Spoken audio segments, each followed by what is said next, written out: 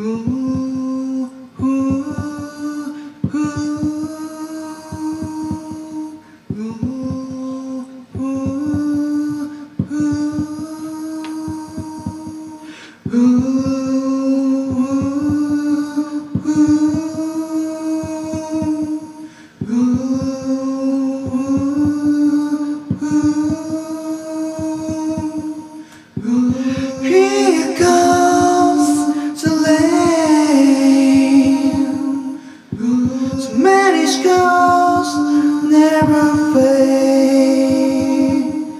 This is a price of war, and we sign. When firefight